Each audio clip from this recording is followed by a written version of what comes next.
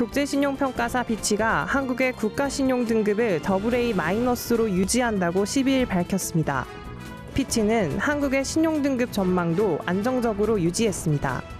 AA 마이너스는 네 번째로 높은 투자 등급으로 대만, 벨기에, 카타르와 같은 수준입니다. 피치는 한국은 북한과 관련된 지정학적 위험과 인구 고령화, 생산성 하락으로 인한 중기 구조적인 도전에도 견실한 재정 관리와 꾸준한 거시경제 운영을 보이고 있다고 판단 배경을 설명했습니다.